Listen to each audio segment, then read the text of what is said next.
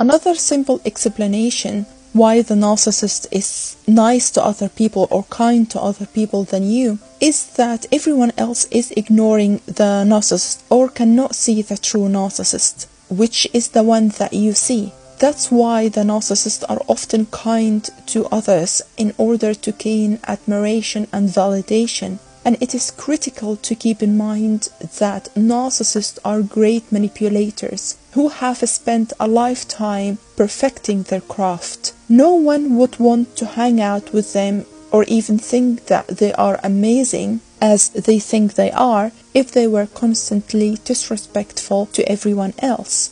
A narcissist's concept of self is fragile, thus, they depend on other people to maintain their ego. Although they may appear to be self assured and confident at times, this is actually the complete opposite of how they feel inside.